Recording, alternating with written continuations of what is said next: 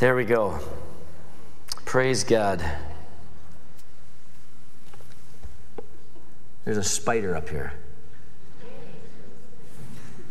Not anymore.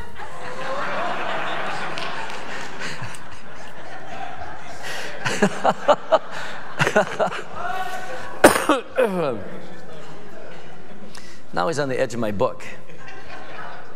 Um, this morning, friends, this morning, in, in all seriousness, um, this is going to be something this morning that you're going to take away. Um, it, there's so much material in the concept. The concept's rather simple, but it is so profound. And I really hope and pray that the Holy Spirit is going to stretch us and challenge us in our thinking. Every one of us are fearfully and wonderfully made. Amen? If you got your Bibles, turn with me to Matthew chapter 7. Matthew chapter 7.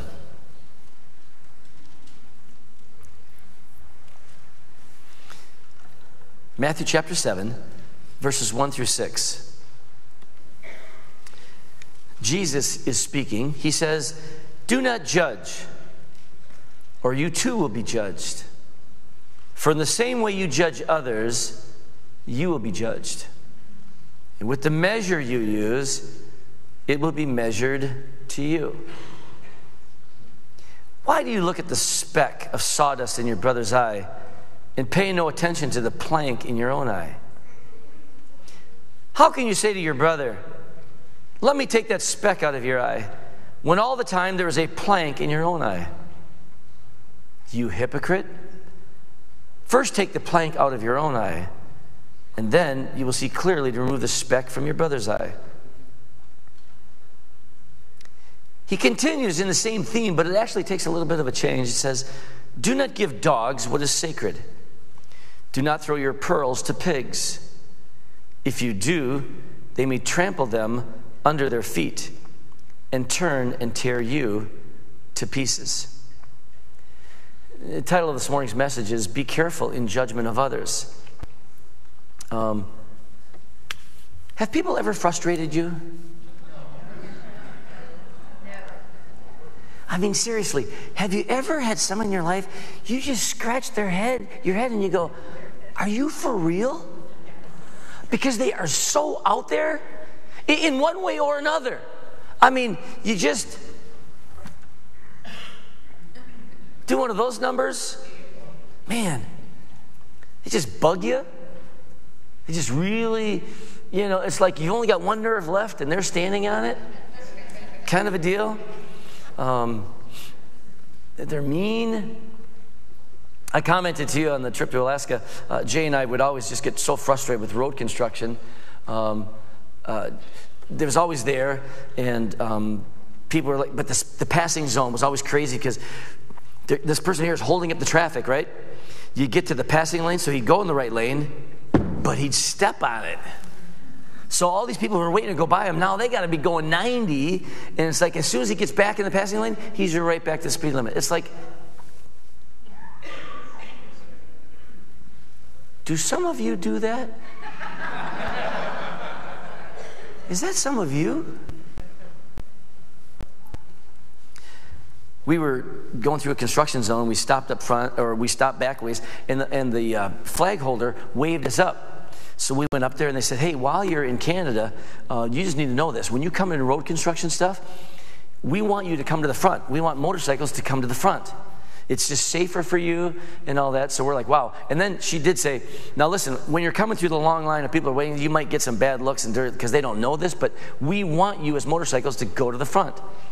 Couple reasons. Number one, it's safer. Secondly, usually when the traffic does get going again, you're gone. You're, you're like not even in anybody's way. And it's really true we're gone. It's like we were never there. One construction site we came to, it was a rather big one. Uh, we pulled up to the front, and again, there's a few people gave us some dirty looks because there was a long line. And we go up to the front, we pull over, lady greets us, good to see you here. It was everything was fine.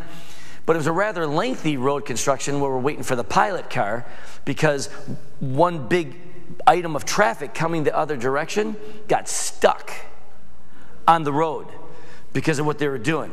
Okay? Jay, you remember this? Yeah. We're waiting there quite a long time. And there's this one guy.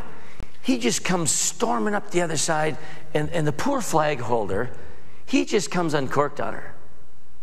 What is going on? How come it takes so long? It's just backing up like crazy back there. Them people have been through twice, and motorcycles and everything. They're just coming up here, and he was just blah, blah, blah, blah. And I'm thinking to myself, poor sir, you have just revealed to everybody who you are, and you have no clue. You're a donkey's backside. It, but you have no clue. No, have you ever thought about some of the stuff that people do? It's like, I really, I, I really wanted to because it's just in my nature to, to follow him back to his car. And I'd like to say to administer the love of Jesus, but it wasn't that. It wasn't anything bad either. I really just wanted to ask him a couple questions, just to make him think. I'd like to try to make people think once in a while. Sometimes I do it in a good way, sometimes I don't do it in such a good way. I'd like to ask him, say, Excuse me, sir, but I really want to ask you a question. You look like a, rather intelligent guy.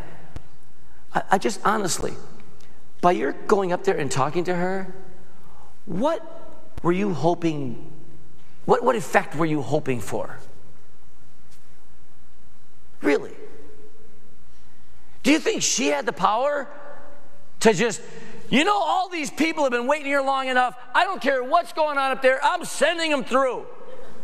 I mean, is that what you wanted her to do? What were you thinking she could do? There are so many times in our lives it would be very good for us to just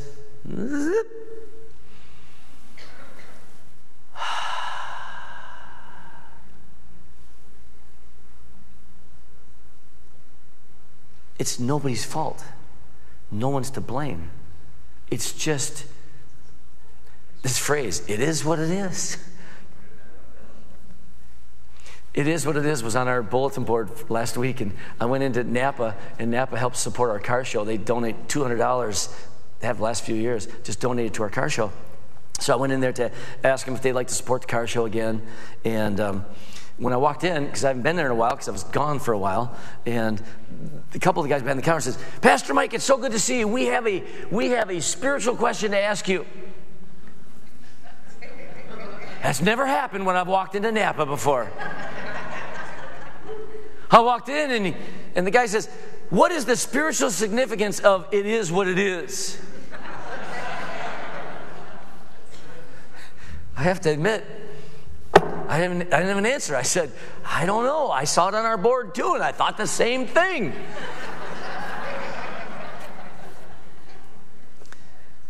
Friends, this idea of truly, we, we really honestly, every one of us, you and I both, there's so many situations in our life. If the highest calling for us is to, to love people, we have got to really understand that we're all different. I mean, really different. And every once in a while, some of the badness in all of us is displayed by this guy coming up, and I just, you know, it's probably not in his nature. Maybe it is, I don't know, but again, giving him the measure I want to be judged against is the measure that I judge him with. I, want to give him the benefit of the doubt and say, you know, maybe he was just having one of those really bad days. Maybe he needed a toilet and there was none to be found. You, you, you don't know. I mean, I, I, was stranded on the highway one time because of a bad accident for two, for two hours. And um, the woods were very welcomed by everybody.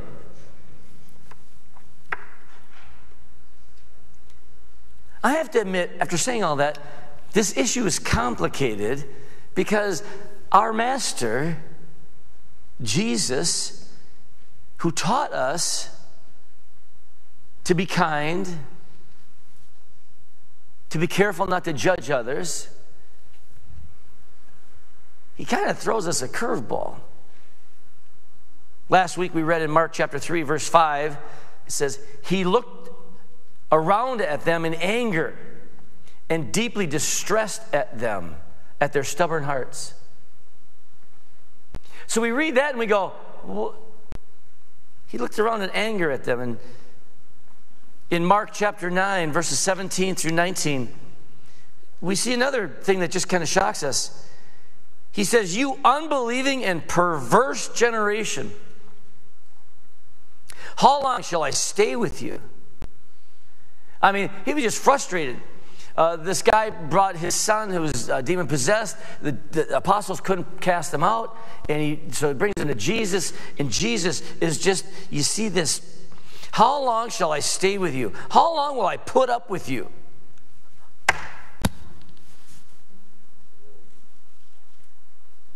Bring the boy here to me. You guys are also incompetent. Bring him here. I'll take care of it.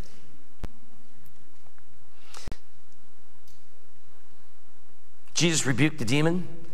It came out of the boy, and he was healed at that moment. Then the disciples came to Jesus in private and asked, Why couldn't we drive it out? You see this disappointment, this frustration. Ooh, I was reading in Matthew, right? I told you Mark? Oops. I'll get there in a minute.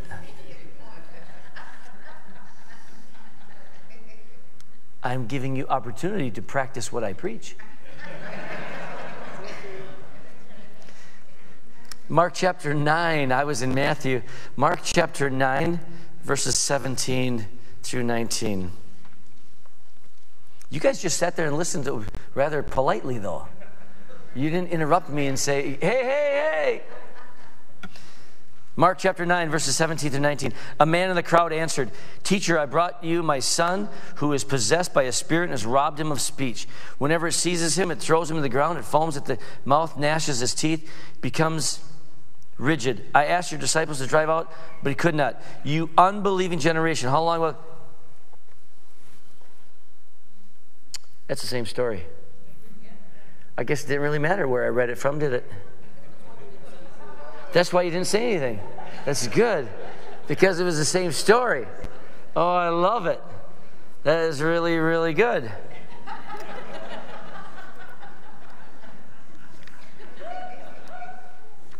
I'm going to fix that before second service. Pen. Excuse me. Jesus also, if you think about what he did in his ministry time here, not only did he have these instances here where he was just frustrated, said, How long have I got to put up with you? You know, um, looking at them in anger. But he also called, he called some people whitewashed tombs, hypocrites, a brood of vipers, fools, snakes, simple. Called them children of the devil. He said, if you make a convert, you make him twice as much a a child of hell as you are. Called some people dogs. It's like, wow. I don't know about you, but that seems, like I said, really incredibly harsh. I don't have time, and nor would I try to go through all the ramifications of it except for to understand this, and I'm not going to get into this part a lot in our passage of scripture this morning in Matthew. In the beginning, it says, Do not judge, or you too will be judged. The emphasis of that front part is, For in the same way you judge others, it'll be judged against you. Here's the thing Jesus had the right to judge people and use the judgment of perfection, if you will, of righteousness, knowing the motives of men's hearts. You and I rarely have the opportunity to judge people from a point standpoint of perfection. You and I rarely, if ever, have an uh, uh, opportunity to judge people's motives. And there's where there is a little bit of difference. Because in verse 6 of Matthew chapter 7, he says, Don't give dogs what is sacred. Problem is, you and I rarely can identify a dog we don't know who's close to salvation and who's truly evil. Again, we make those judgments and there's times for them. The other thing we need to realize that the reality is for every one of us, we are at the center of normal. Every one of us, right? I mean, you're, you think you are at the very center, the very core. You think you are the most balanced, well thought out, solid person there is. Okay, so, uh, uh, oh, this is an interesting surprise. Some of you are keenly aware of your idiosyncrasies. You are ahead of the game. Because most of us go through life thinking that, quite honestly, your life, my life, our judgments, our opinions, our actions, our feelings, our emotions, our reactions to things are at the very center of normal. If everybody would just do it like this, wow, wouldn't life be great? Amen? Oh, you're thinking it, but you're not going to say amen. But you think that it's like, oh, yeah, I think so. We think we're right. We think we're healthy. It's like, wow. Julie, my lovely assistant this morning, could you come and help me? You know, I don't know where to put this. I think I'm going to put it right here. Well, the pulpit, unfortunately, some of you up front can't see it. Um, second service, maybe we can turn the camera on, put the camera on, image up onto the trons. See, we really plan these things out, just so you know. Um, it really doesn't matter. We'll guess like that. That'd be really good.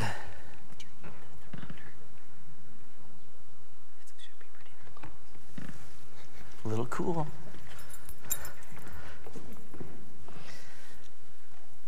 Okay, now I need two volunteers.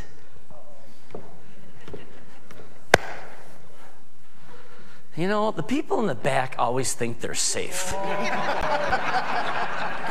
you know, you sit back here because you're like, well, he's not going to really come this far back, is he? Well, yeah, he really could.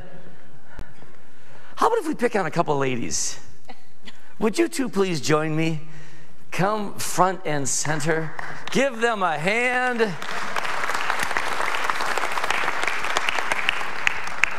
Woohoo! okay, know this. You're going to be safe. It's going to be, come on up. It's going to be good. This is not going to be that terribly difficult. Or, or stand one over here, one right over here. Please do me a favor. Uh, put one of your, take a hand, stick it right in there. Your hand, if you could roll this up a little bit. You don't want to get it wet. What is your name? Jenny. Hi, Jenny. Hi. How long you been coming to Maranatha? A month. A month? Yes. Wow. Isn't this great? It's interesting. Yeah. And your name is? Nancy. Hi, Nancy. How long you been coming? Keep your hand in there. I know it's really hot. Yeah, it is really yeah, hot. Well, come here, not gonna hurt you. Hey, boil, water boils at like 212 degrees. Isn't right, that right? This isn't 212. No, it's not even close. Go ahead, stuck it in there. Go ahead, stick it in there. Go ahead, just. Can I try this one? No, no, no, no, no, no, no, no, no, no, no, no, no. Go in there. Go in there. Okay, just leave your hand there for a minute. How are you feeling? Chilly. It's a little chilly, getting, getting a little numb. Want to switch? Uh, you're gonna. you can. You know, yeah, this one here is. This is definitely uncomfortable. Yeah. That one there is gonna be uncomfortable if I leave you there much longer. You gonna make it? Sure. Okay. You are cheating. you are cheating. Is it like like really painful? It's really hot. It's really hot. Come on. Do you like it? That's not hot. In fact, did you hear me whisper to Julie as she walked away? I said, oh, it's kind of cooled down a little bit. That's not hot. Oh, that's right. Your feminine, dainty hands.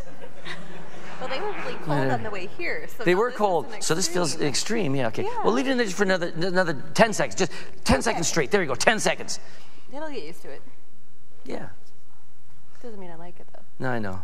Okay, since, since you're whining the most, yeah. Do I get to go in there now? You get to go in there first. Thank you. Okay, go in there. Okay, now compared to where you were, how does that feel? Good. Hot or cold? It feels cold. It feels cold. Yeah. It does. It okay. Does. Okay, you can take your hand out now unless you want to leave it in there, but Carla's hand's coming in there next. No, it's better. okay, Carla, go ahead, put your hand in there.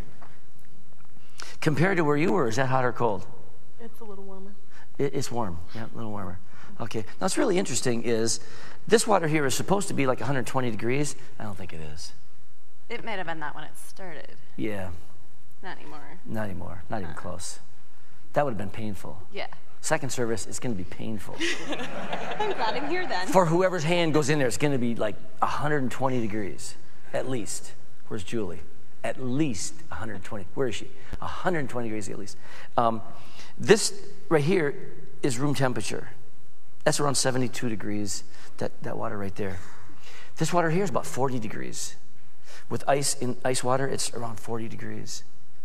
Now, um, from where you came from, you said this was cold, and you said it was hot. Your judgments, your perception of the same water had different outcomes. A lot because of where you've been. I wish everybody I could do this to you, but I can't. Would you guys give them a hand as they go back down? Thank you so much for coming up here. Thank you.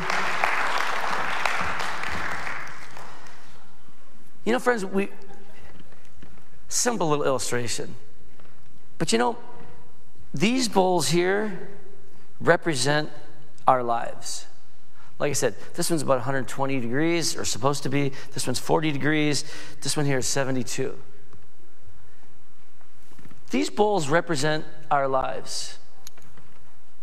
Our past experiences shape who we are.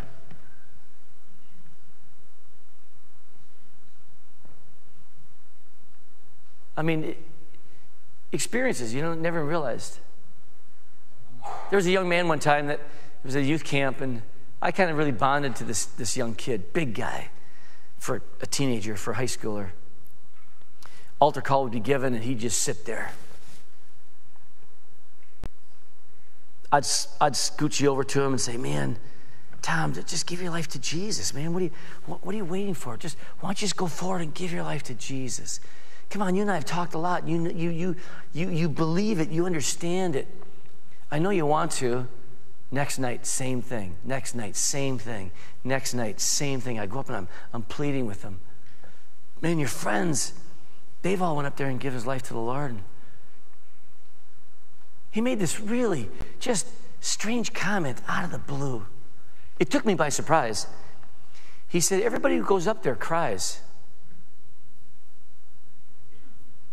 And I, and I, I mean, I remember it caught me so off guard. I just, well, so you cry. I mean, that's not a big deal. And I could see by his rea- my, my words, his reaction, he tightened up just a little bit more. And I realized something's not right. He's got this crying thing, something. So I'm pleading with him, man, let's go. I'll go with you. You know, let's just go forward. Man, if you cry, you cry. I said, What's the deal with crying? He said, One day when he was younger, he was like nine or 10. He came into the room where his dad was sitting he was, and he was crying because he got hurt. He said, My dad kicked me in the face with his boot, set me across the floor, and said, Men don't cry. I was like, oh.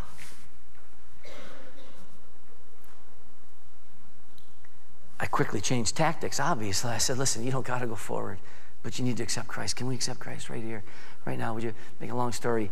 He did, and he cried, and it was good. I told him it was fine. It was. But you know, friends, when you and I meet people, we have no idea of what has, what has made them and shaped them to be the people that they are. One of the things I tell the staff oftentimes, remember, when you're dealing with people, you know, they come in, there's a situation over else, and, and not you all, I'm talking about newer people, because this doesn't fit you, but I, I tell them all the time, remember this, not everybody is psychologically square. Not everybody is healthy or normal. The biggest mistake you will make is assuming that everyone is. Because every one of us carry through this life a certain amount of baggage or perception and whatever. And our bowls representing our lives are shaped by a whole lot of things. Let me just mention a couple. Um, let's just go right straight to some people's lives are affected by prescription. There's genuine mental illness. I remember Orlean worked at a home for adults that were uh, mentally challenged, and most of them not by birth, but by horrible circumstances. Most of them abused terribly as children, sexually and physically and emotionally, and they just something snapped, and, and they live now in a home. She worked there for a while, and I would occasionally go visit, you know, had permission to go visit and, and be there and see the people. And, and, and some of the people, you'd look at them, by just looking at them, they look like OJ. You'd have no idea. so I want to make sure you're paying attention. Some of them quite look, honestly, they, I mean, there wasn't a sign on their head or forehead. They just, they looked. Other people, it was more obvious, just by physical traits. Mental illness. When you're dealing with somebody, are they off their meds? Are they on their meds? You don't know. I was standing in Walmart this was a few years back. I'm standing in Walmart getting ready to pay. And I'm just standing. There's a woman up there that's having an, an you know, doing her deal with the cashier.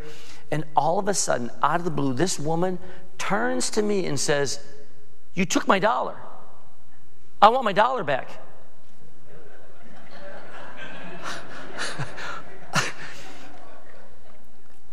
I, I, I, don't know what to say. I mean, I, I wasn't going to defend myself because that sounded like uh, it, it was just, I, I did not know what to say. And then she got more insistent. I saw you, you took my dollar. I want my dollar back.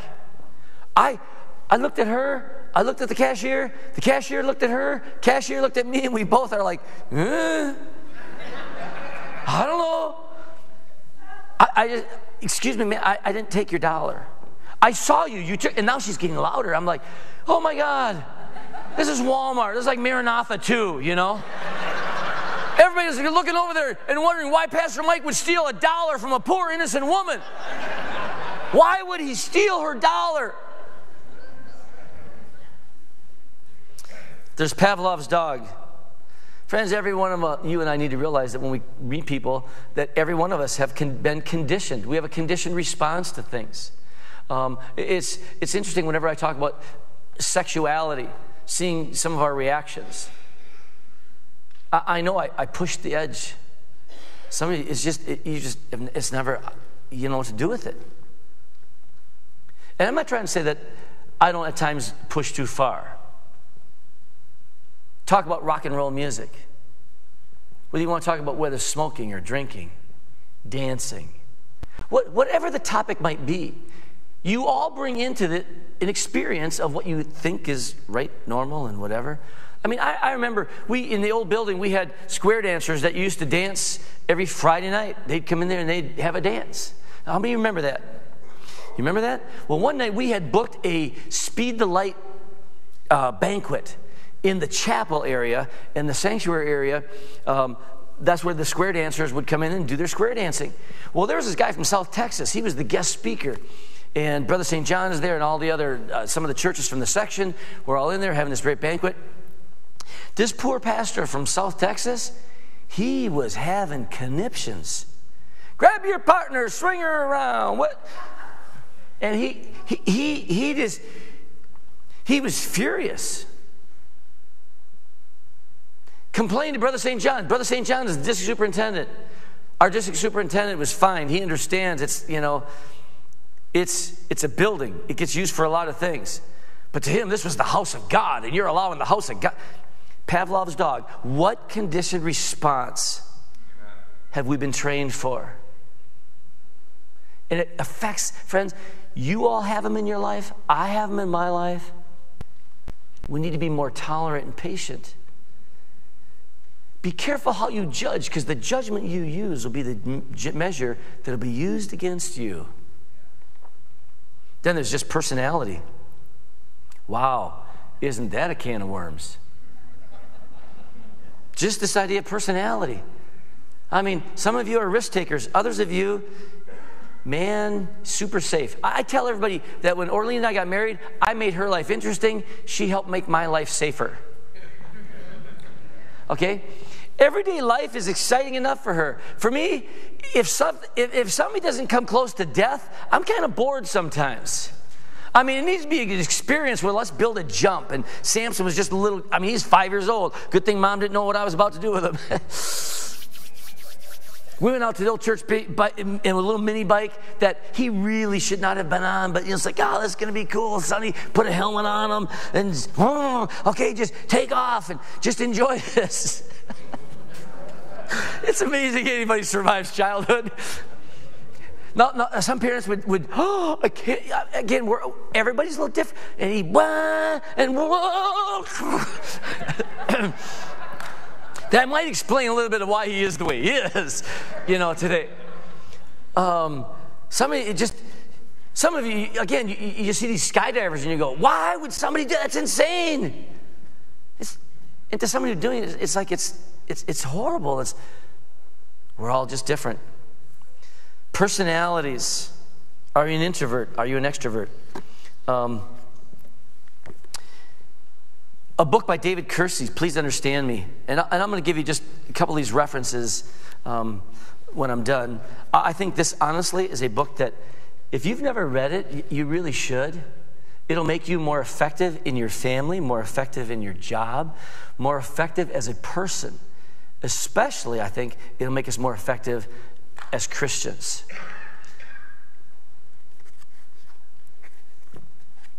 If you do not want what I want, please try not to tell me that my want is wrong.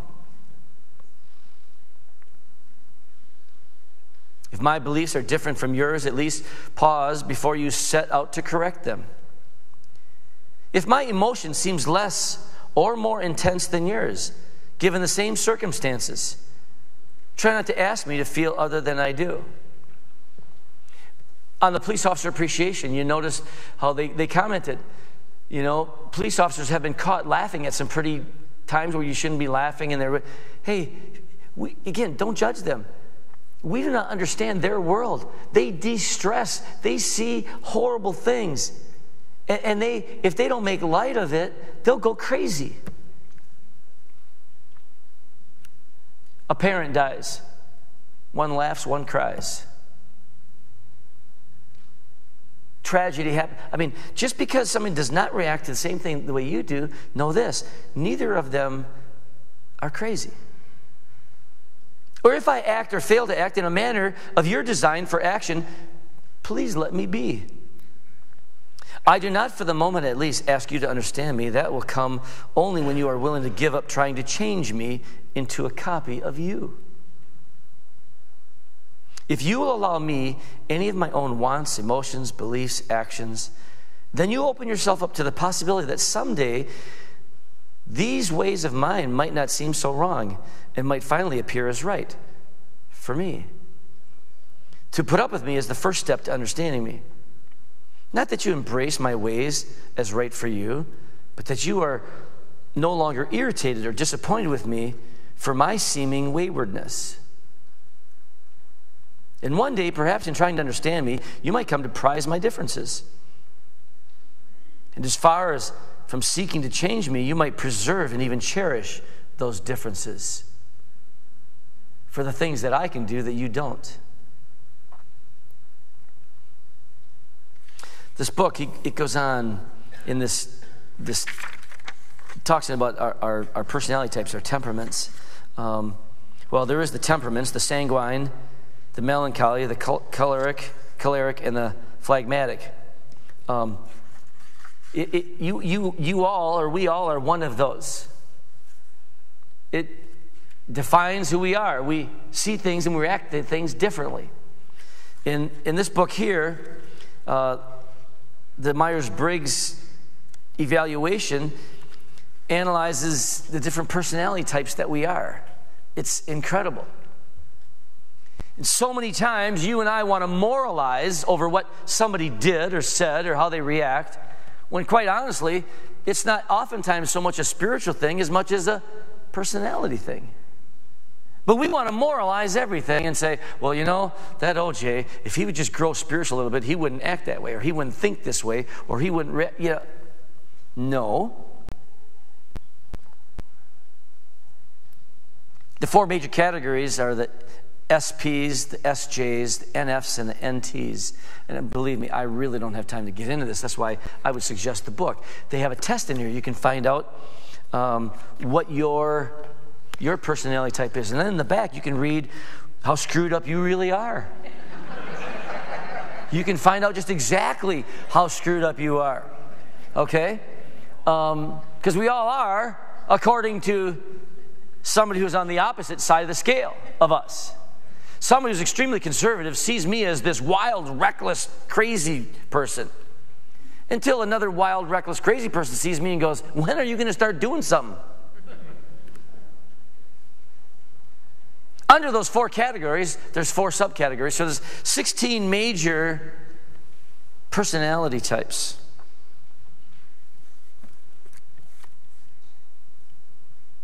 I'll just read eight to you the expressive, the observant, the tough minded, the scheduling, the reserved, the introspective, the friendly, the probing. I mean, the, it, it's just really cool stuff. That we all ought to be aware of because when Jesus says, Do not judge, or you too will be judged. For in the same way you judge others, which is usually through the lens of our own personality, our own perspectives, our own Pavlov's dog's experience, conditioned responses.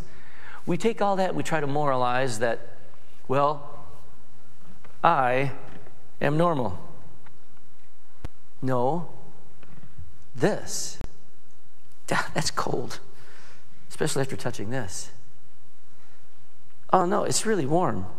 Oh, wait a minute, it's the same. It just depends on who you are. There's person, okay, there's prescriptions, Pavlov's dog, personality. Then there's just preference. And some of this comes down to your personality, just preference. Some like knitting, some like kayaking. Some like bowling, some like bull riding. Some like to go naked and afraid.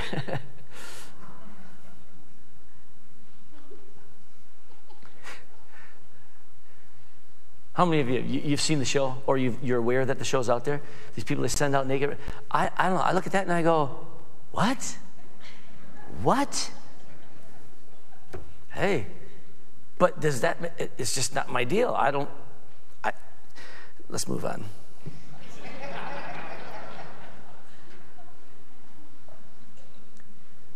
You know, some of these preferences, some of these differences in, in our mind, oh my goodness, I'm supposed to be done. Some of these differences in our lives are, are, are just generational. And again, we want to moralize on them.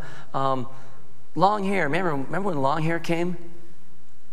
It was when the Beatle invasion happened. These Beatles, these four guys from London, from England, from London came, and they were like, oh, and they had long hair. It was down to here. You should go back and look in the 1960s, the early 60s, when they came, what was considered long hair. It was down here. It wasn't shaved up like this. It was, and they had long hair. Wait until the 70s, 60s, and 70s get here, right? Now we're going to see long hair. God, we all like to pick out our own personal preferences and try to judge others and say, well, this is right, this is wrong, and I have found, I don't know about you, but there's three things that really need to temper us and shape us when we this idea of judging others. When Jesus says the same measure you use will be used against others. Okay, three things. Number one, I have re- noticed the general rule of humanity is you and I tend to make fun of or ridicule that which we do not understand. Okay? I, I don't understand golf. I've come to appreciate that golf is a highly skilled uh, game. I mean, it, it, it, takes dedication. It takes, but for me, I'm just so, uh, so, so I make fun of it. And I, you know, I'd rather, you know, ride a motorcycle and risk my life than play with a little ball, beat it around the field all day. Uh, quite, horses, I don't understand horses. They scare me. So, why do these people ride these horses and they jump over? I mean, we make fun of We tease that which we do not understand. When you start to understand, again, all the work and why do people sit in like why do people sit in front of a TV and watch cars go round in a circle? When I hear that, I want to beat you up. Do you realize the time, the skill, the energy, the sometimes you're talking about a quarter inch or a quarter pound of pressure in a tire to help the steering and the and the rebounding and how's the chassis set up and all the different things and the crew and they're there and the they're, they're side drafting and they're they're going 200 miles an hour bumper to bumper side by side and the focus and the how can you say how can you watch these cars go because you don't understand it you, you don't know all the things that are involved. Friends, that is the nature of every one of us. We tend to ridicule or mock that which we not understand. Matthew 7, 1 and 2. Do not judge, or you too will be judged. For the same way you judge others, you'll be judged. Okay, number two. Oh man, I really got to be done, don't I? Really quick. The three, the three judgment tests. The three the three question test of judgment. Bottom line, when you look at it, is it illegal? Is it unscriptural? And is it immoral? If it's none of those, chalk it up to personal preference. Why don't you just say, you know, I would never do that? Pastor Mike, I would never say that way. I would never do that. I would, you know. Yeah, well, I would. Or you would. If it's not illegal, unscriptural, or immoral, Take two steps back, take a deep breath, and just go, oh. Number three. Number three is patience. We all need a heavy dose of patience. This idea, we'll make judgments on people, it might be just a bad day. That's not who they really are. That guy that came up in that, in that road construction, honestly, he might have been one of the most patient. Who knows? He was having a bad day. And we just happened to see him in one of his poorer moments. In Romans chapter 14, basically, we are urged by the Apostle Paul to do that exactly the same thing. Take a breath, be patient. Romans chapter 14, verse 10 says, You then, why do you judge your brother or sister? Why do you treat them with contempt? For we will all stand before God's judgment seat. Let's, let's, let's focus and worry more about me than others. Verse 12. So then, each of us will give an account of ourselves to God. Therefore, let us stop passing judgment on one another. Instead, make up your mind not to put any stumbling block or obstacle in the way of a brother or sister. Paul in, chapter, in Romans chapter 14 is talking about meat offered to idols. He says, hey, some people's consciences are weak. That just bothers them, knowing that this meat was offered to, to false gods, and they see you walk in, buy it because it's cheaper, and you eat it. Doesn't bother you. But it just morally bothers somebody else. Like, how could you do that? And, uh, uh. and Paul says, hey, do not for the sake of these things destroy the family of God. Now, I don't know about you, but that's a pretty extreme example, I think. Could you imagine if you seen OJ going into the temple of Baal in downtown Forest Lake? Yeah, no, poor AJ this morning, right? My mom's having sympathy for you. We see him go in into the temple in downtown Forest Lake. He buys meat and he walks out. We're all going to have a tough time with that. Apostle Paul says, uh, not so much. 1 Corinthians 4 5. 1 Corinthians 4, verse 5. Therefore, judge nothing before the appointed time. And you know, that's the key. Yeah, somebody might, right now, might not be just doing quite, you know, I'm going to pray for them exhort him, walk alongside him, try to understand. It might have been just a bad day. We don't know if he was raised with a boot put to his face.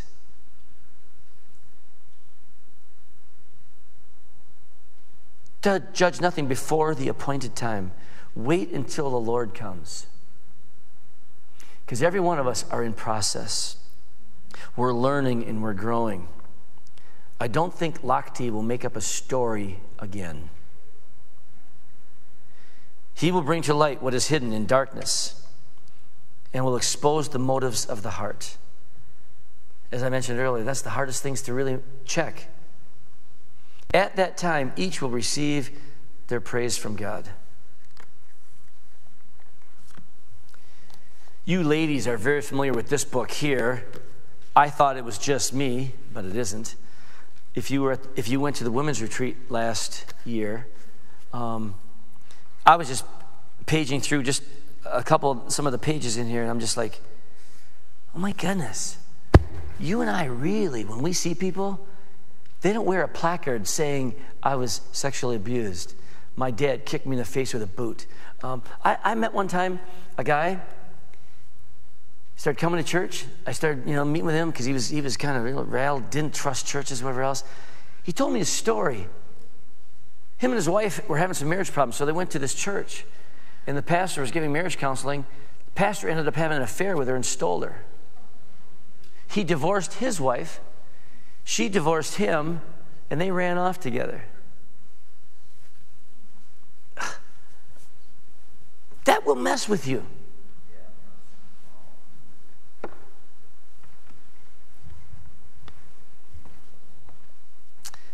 This almost piggybacks with last week's message. When driving through and seeing the glory and the grandeur of God, being aware of my own wickedness, isn't it great for every one of us to throw up our arms and say, God, we are mercifully all screwed up? We think we're the center. With God, we live and move and have our being because of your grace, because of your mercy. Amen? Okay. There's a lot of things I didn't say. Well, you just have to stand up for sin because I know some of you right now are, are crying, crying. Well, you can't just accept everybody. You got to tell them when they're wrong. And I, I understand all that. Like I said today, I want to just challenge you. I want to poke you. Could we possibly look at other people with more loving kindness, with more patience? And I really want to recommend, seriously, look up this book or try to borrow Orleans, but I don't think you'll pry it from her hand. Um, in this book here, too, I thought it was just me, but it isn't.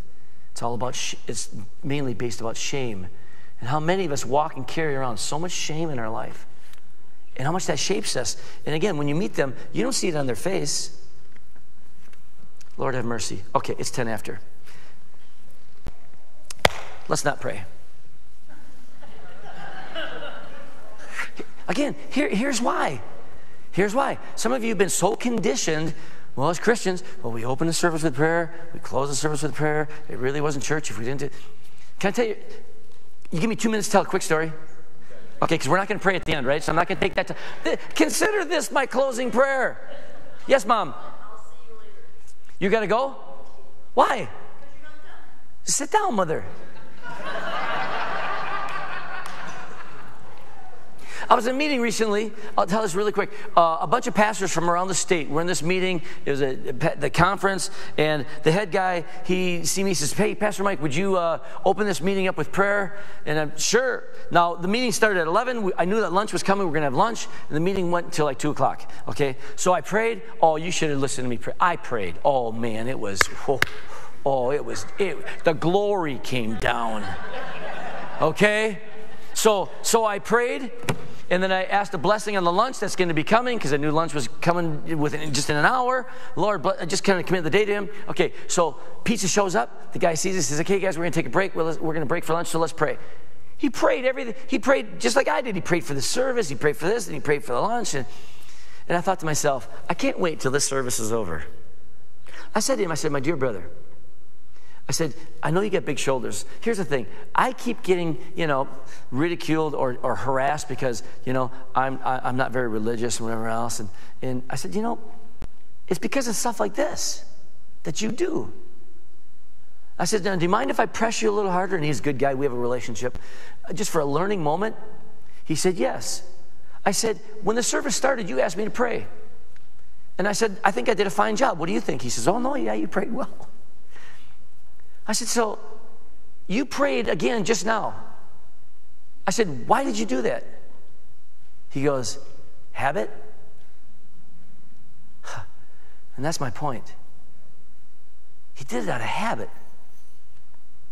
I said to him, I said, you know, I've been in a lot of meetings where pastors, we pray. Oh, let's pray. We pray. And friends, don't get me wrong, I'm not against praying.